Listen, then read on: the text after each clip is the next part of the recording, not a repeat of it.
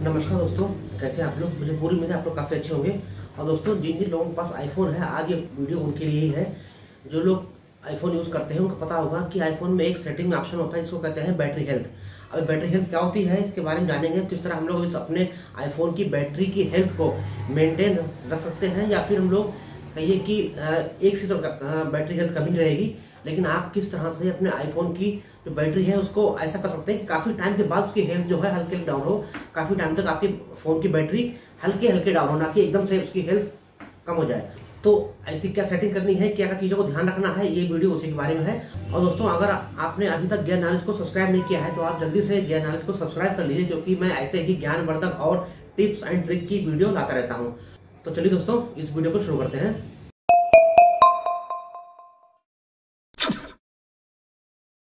दोस्तों सबसे पहली ट्रिक ये है कि जब भी आप अपने आईफोन को चार्ज करिए तो आप ऐसे एटमॉस्फेयर में चार्ज करिए जब कि आपके फ़ोन के आसपास का एम्बियंट टेम्परेचर ज़्यादा ना हो। आ, क्योंकि एप्पल ने अपनी वेबसाइट में लिख रखा है कि बैटरी चार्ज करने के लिए सबसे अच्छा टेम्परेचर है 16 डिग्री से 22 डिग्री। इससे ज़्यादा अगर हमारे लिए सपोज़ करिए आपका बैटरी फ़ोन का अगर चार्ज कर रहे हैं, उसकी बैटरी जाती है पैंतीस परसेंट से ऊपर टेम्परेचर पे। तो उन्होंने साफ़ साफ़ लिख है कि आपके फ़ोन की बैटरी खराब हो जाएगी। जी हाँ उन्होंने ये लिखा है।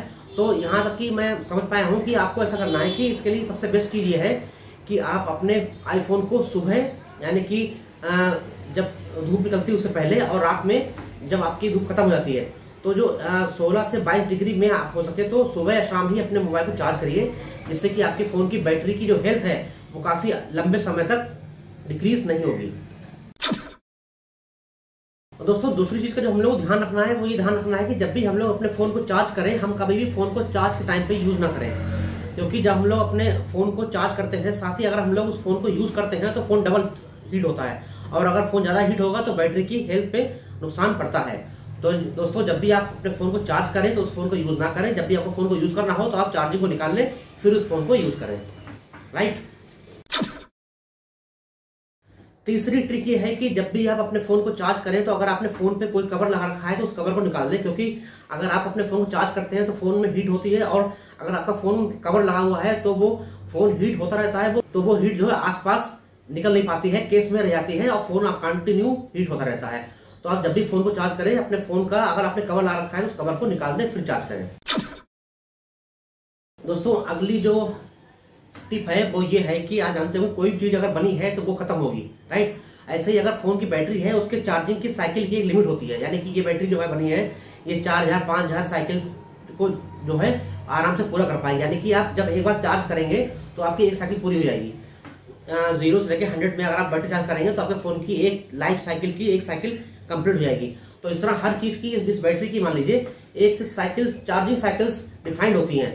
तो सबसे अच्छी ट्रिक ये है कि आप जब भी अपने फ़ोन को चार्ज करें तो जब आपका फ़ोन चार्ज हो रहा हो तो आप उसको 100 परसेंट तक चार्ज ना करें। आप 95, 96 तक चार्ज करें उसको 100 परसेंट चार्ज ना करें। क्योंकि आप जब भी 100 परसेंट चार्ज करेंगे तो उसकी एक साइकिल पूरी हो जाएगी और आपकी उसकी बैटरी की लाइफ स्पेन से एक साइकिल कम हो जाएगी। लेकिन अगर आप हंड्रेड तक नहीं ले जाएँगे उसको कम पर रखेंगे मान लीजिए कि छियानवे पचानवे तक रखेंगे तो बैटरी की एक लाइफ साइकिल जो है पूरी नहीं हो पाएगी और ये लाइफ साइकिल अगली साइकिल में जुड़ जाएगी।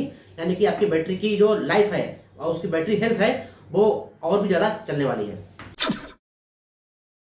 और दोस्तों, जो अगली एंड लास्ट ट्रिक है, वो ये है कि आप अपने फ़ोन को बार बार चार्ज ना करें। जैसे मैंने आपको पहले बताया कि ये बैटरी की एक लाइफ साइकिल डिफाइंड होती है तो आप अपने फ़ोन को जितना कम चार्ज करेंगे, उसकी लाइफ साइकिल उतनी ज़्यादा टाइम पे खत्म होगी। तो यानी कि अगर आपका फ़ोन सपोज़ करिए मैंने देखा कई लोगों को कि किसी का फ़ोन अगर 60 परसेंट भी है 70 परसेंट भी है तो चार्जिंग लगा देते हैं ऐसा मत करिए। जब आपका फ़ोन 20 परसेंट से नीचे आए आप तभी उसको चार्जिंग लगाइए। बिना बात के फालतू में चार्ज मत लगाइए। जब आपका फ़ोन 20 परसेंट से नीचे हो, आप तभी चार्जिंग लगाएँ। तो इससे आपका यह होगा कि आपकी लाइफ इसकी बैटरी की हेल्थ जो है, वो काफ़ी हल्की हल्की कम होगी, एकदम से कम नहीं होगी और आपका फ़ोन लंबे समय तक चलेगा। तो दोस्तों, ये तो थे कुछ tips and trick iPhone user के लिए जो चाहते हैं कि उनके फ़ोन की जो बैटरी हेल्थ है, वो काफ़ी अच्छी बनी रहे और काफ़ी टाइम तक उनकी बैटरी चले।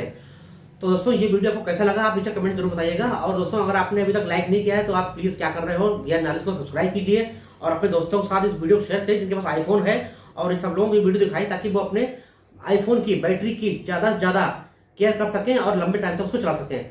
तो दोस्तों, मिलते हैं ज्ञान नॉलेज की अगली वीडियो में, तब तक के लिए जय हिंद।